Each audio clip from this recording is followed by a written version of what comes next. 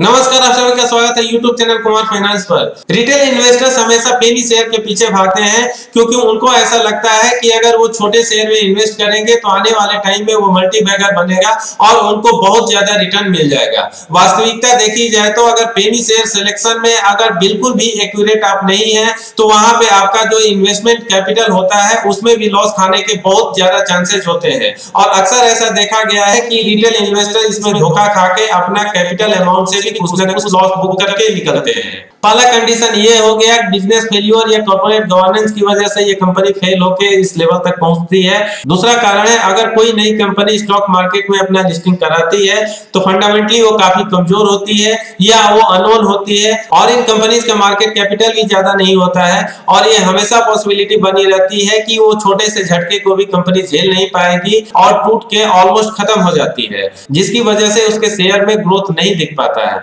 लेकिन मैं बात करने वाला हूँ टाटा ग्रुप से बिलोंग करने वाले टाटा पावर के बारे में, जिसके तीन बड़े कारण मैं बताऊँगा कि आने वाले फ्यूचर में ये मल्टी बैगर बनेगा। और मैं आपसे ये वादा नहीं, ये दावा कर रहा हूँ कि अगर आप इसमें पाँच से दस साल इन्वेस्टेड रहते हैं तो ये आपको मल्टीपल रिटर्न देने की क्षमता रखता है। ये तीन बड़े रीजन क्या है? टाटा पावर फंडामेंटली कितना स्ट्रॉन्ग है? इन सबको जानने के लिए स्टार्ट करते हैं ये वीडियो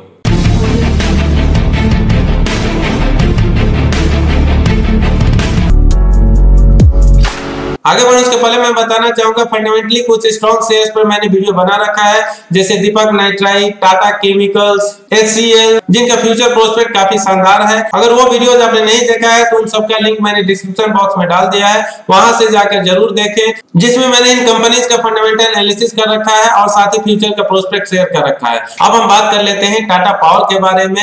फ्यूचर में ये मल्टी बनेगा और अपने इन्वेस्टर्स को मल्टीपल रिटर्न देगा, ऐसा मुझे विश्वास है। इसका पहला कारण है Tata power electrical vehicle charging solution में इंडिया का लीडर बनने वाला है। ऑलरेडी टाटा पावर इस दिशा में काम स्टार्ट कर चुका है और बहुत सारे स्टेशन का कंस्ट्रक्शन ये स्टार्ट कर चुका है। और साथ ही इस फ़ील्ड में अपने बिज़नेस एक्सपेंशन को लेकर काफ़ी एग्रेसिव नज़र आ रहा है और मुझे पूर्ण विश्वास है आने वाले टाइम में सबसे ज़्यादा चार्जिंग स्टेशन टाटा पावर के पास ही होगा। टाटा पावर का जो करंट प्लान है, उसके हिसाब से किसी का होम हो ऑफ़िस हो मॉल हो होटल्स हो रिटेल आउटलेट्स हो, या पब्लिक प्लेसेज जो हर जगह अपना चार्जिंग स्टेशन बनाते जा रहा है। इलेक्ट्रिकल व्हीकल का फ्यूचर इंडिया में क्या होने वाला है, ये किसी को बताने की ज़रूरत नहीं है। हम सभी जानते हैं इंडिया का फ्यूचर भी इलेक्ट्रिकल व्हीकल ही होने वाला है, क्योंकि पेट्रोलियम पदार्थ पे हमारी डिपेंडेंसी कम हो। इसके लिए इंडियन गवर्नमेंट भी बहुत सारे छूट, बहुत सारे सब्सिडीज ऐसे प्रोडक्ट को दे रही है, जो इलेक्ट्रिकल व्हीकल रिलेटेड या तो प्रोडक्ट बनाती है, या इस बिज़नेस से जुड़ी हुई है। क्योंकि टाटा पावर ऑलरेडी इस फ़ील्ड में काफ़ी आगे बढ़ चुकी है, इनका एक्सपेंशन प्लान भी काफ़ी अच्छा है,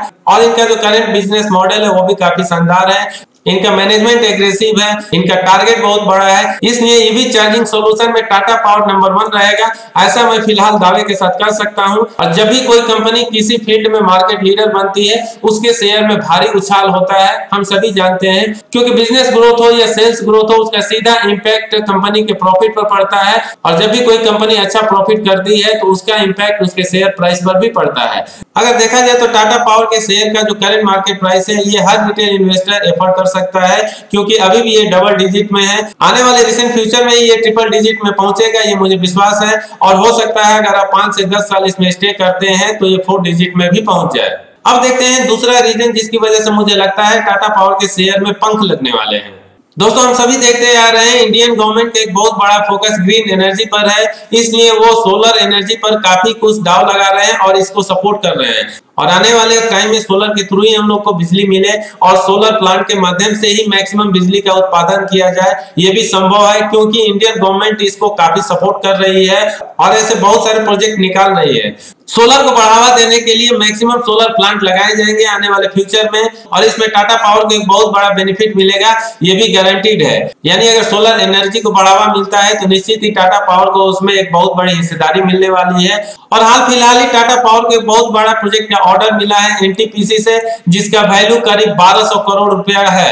एनटीपीसी से जो टाटा पावर को प्रोजेक्ट मिला है, इस प्रोजेक्ट में टाटा पावर को 320 मेगावाट का प्लांट सेट करना है। और आने वाले टाइम में टाटा पावर को ऐसे बहुत सारे प्रोजेक्ट मिले, ऐसी संभावना है। क्योंकि सोलर प्लांट इंडिया में अभी बहुत बढ़ने वाले हैं और उसमें एक बहुत बड़ा हिस्सेदारी टाटा पावर का रहेगा, ऐसा मैं दावे के साथ कह सकता हूँ। क्योंकि अगर बैकग्राउंड देखे टाटा पावर का तो इसका सक्सेसफुल बैकग्राउंड रहा है इस फ़ील्ड में। और अब स्क्रीन पर देख सकते हैं, ये बहुत सारे लार्ज प्रोजेक्ट पास्ट में एग्जीक्यूट कर चुका है।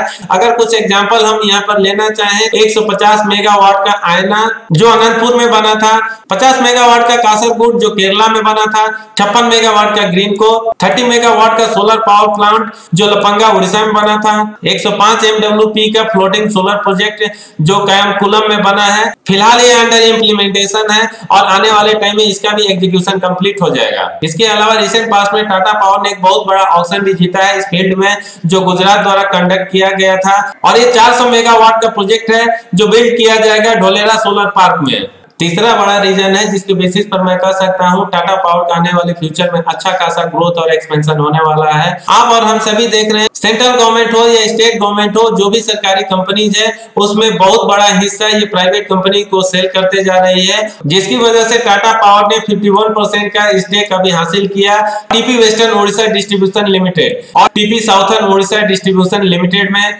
शायद आप नहीं समझ पा रहे हो, इसलिए मैं बताना चाहूँगा, जितने भी बिजली का डिस्ट्रीब्यूशन होता है across the India maximum holding state government की होती है, लेकिन अब स्टेट गवर्नमेंट उसमें बहुत बड़ा हिस्सा प्राइवेट कंपनीज़ को सेल करते जा रही है। इसलिए उड़ीसा गवर्नमेंट ने अपने बिजली डिस्ट्रीब्यूशन में बहुत बड़ा स्टेक सेल किया, जिसकी वजह से टाटा पावर ने उड़ीसा गवर्नमेंट के अंडर में चलने वाली जो पावर डिस्ट्रीब्यूशन होता है, उसमें बहुत बड़ा स्टेक ले लिया है। और आने वाले टाइम में केवल उड़ीसा में ही ये नहीं होने वाला है, पूरे इंडिया में होने वाला है। और स्टेट बाई स्टेट आप देखेंगे, जितने भी स्टेट गवर्नमेंट है धीरे धीरे अपना हिस्सा वो प्राइवेट कंपनीज़ को सेल करेंगे। स्टेट गवर्नमेंट पावर डिस्ट्रीब्यूशन में अपना हिस्सा सेल करते जा रही है। उसका बहुत बड़ा कारण है स्टेट गवर्नमेंट हो या सेंट्रल गवर्नमेंट हो, इनको बहुत लॉस हो रहा है, जिसकी वजह से वो अपने स्टेक सेल करते जा रहे हैं। टाटा पावर उसमें बहुत बड़ा प्लेयर बन के उभरेगी, ऐसा मुझे विश्वास है। और जो भी पावर डिस्ट्रीब्यूशन का बिज़नेस है, उनमें इनका बहुत बड़ा हिस्सेदारी होने वाला है। आप समझ सकते हैं पावर डिस्ट्रीब्यूशन कितना ज़्यादा है इंडिया में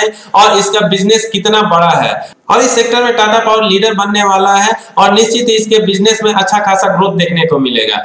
और जब टाटा पावर का बिज़नेस एक्सपेंशन होगा, निश्चित ही उसका इम्पैक्ट इसके शेयर पर भी पड़ेगा। ये है तीन मेन कारण जिसके बेसिस पर मैं कह सकता हूँ टाटा पावर का फ्यूचर काफ़ी अच्छा रहने वाला है, इसलिए आप इस शेयर को कंसिडर कर सकते हैं बाई करने के लिए। अब हम देख लेते हैं टाटा पावर का फंडामेंटल कैसा दिख रहा है और करेंट टाइम में इसके शेयर को खरीदना चाहिए या नहीं, इसके लिए मैं आप लोग को लेकर जाना चाहूँगा टिकट टेप के वेबसाइट पर। मैं आ चुका हूँ टिकट के वेबसाइट पर, जहाँ पर हम देख सकते हैं टाटा पावर कंपनी लिमिटेड का जो करंट मार्केट प्राइस चल रहा है, ये उनासी रुपया पच्चीस पैसा चल रहा है। चूँकि स्टॉक मार्केट में गिरावट का दौर जारी है और ये जो डेटा दिया हुआ है 25 जनवरी का है, जिस दिन स्टॉक मार्केट ऑलमोस्ट एक परसेंट के आसपास डाउन रहा, लेकिन इसके शेयर में मामूली गिरावट देखने को मिलती है। ये मात्र पॉइंट है। इन्वेस्टमेंट चेकलिस्ट देखें तो टाटा पावर का इंट्रेंसिक वैल्यू ग्रीन जोन में है। यानी जो टाटा पावर शेयर का करंट मार्केट प्राइस है, इसके स्वाभाविक वैल्यू से कम है। दूसरा रिटर्न्स वर्सेस एफडी रेट्स इसका रेड जोन में है, क्योंकि तब ना इलेक्ट्रिकल व्हीकल के बारे में ज़्यादा चर्चा होती थी, ना इसके चार्जिंग स्टेशन के बारे में चर्चा होती थी, और ना ही ग्रीन एनर्जी पे गवर्नमेंट का इतना ज़्यादा फोकस हुआ करता था। इसलिए इस शेयर ने अच्छा रिटर्न नहीं दिया है, अगर पिछले कुछ सालों का रिकॉर्ड देखा जाए तो। लेकिन जिस इंडस्ट्री से कंपनी आती है, उसका करंट स्टेटस स्टेटस देखें या फ्यूचर का प्रोस्पेक्ट देखें तो निश्चित ही आपको भी शानदार लगेगा।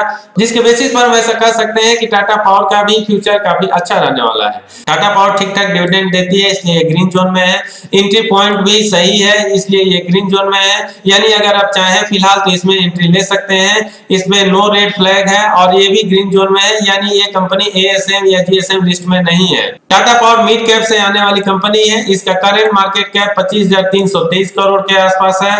ये शेयर लो रिस्क में ट्रेड होता है और निफ्टी से कंपैरिजन में इसकी वोलाटिलिटी 1.58 टाइम्स होता है। इस शेयर का पी रेशियो भी अभी अच्छा दिख रहा है और ये फ़िलहाल 21.07 है, जो कि अच्छा माना जाता है। अगर किसी शेयर का पी रेशियो 20 के आसपास चल रहा हो तो। अगर हम इस शेयर का फोरकास्ट देखें जिसमें एनलिस्ट अपना ओपिनियन शेयर करते हैं तो अब तक 18 एनलिस्ट ने अपना ओपिनियन शेयर कर रखा है, जिसमें 89 परसेंट एनलिस्ट का मानना है कि इस शेयर को बाय करना चाहिए। आगे बढ़ते हुए हम देख लेते हैं टाटा पावर का होल्डिंग पैटर्न कैसा है। दिसंबर 2020 के रिकॉर्ड के हिसाब से इसमें प्रोमोटर की होल्डिंग 46.85 परसेंट है म्यूचुअल फंड की होल्डिंग 11.36 परसेंट है डीएस की होल्डिंग 12.07 परसेंट है एफ़ की होल्डिंग 12.43 परसेंट है और रिटेल इन्वेस्टर्स की होल्डिंग फ़िलहाल 17.27 परसेंट है। इस डेटा के बेसिस पर हम कह सकते हैं म्यूचुअल फंड्स हो डीआई हो या एफ़ जो उनका ट्रस्ट बना हुआ है इस कंपनी में और उनको भी ऐसा विश्वास है कि आने वाले टाइम में टाटा पावर अच्छा करने वाला है,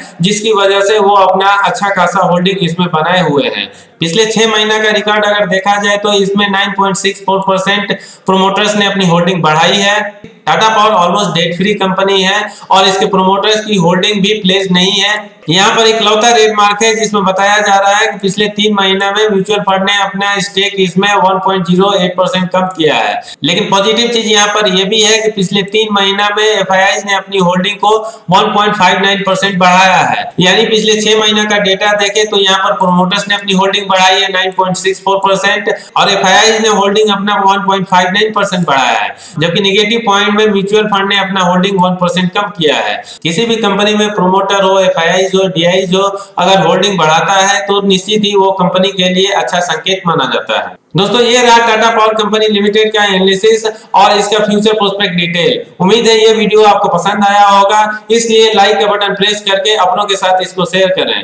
इस वीडियो में इतना ही। अगर आपको मेरा काम पसंद आता है और चैनल को अब तक सब्सक्राइब नहीं किए हैं तो चैनल को सब्सक्राइब करके बेल आइकन का बटन ज़रूर प्रेस करें।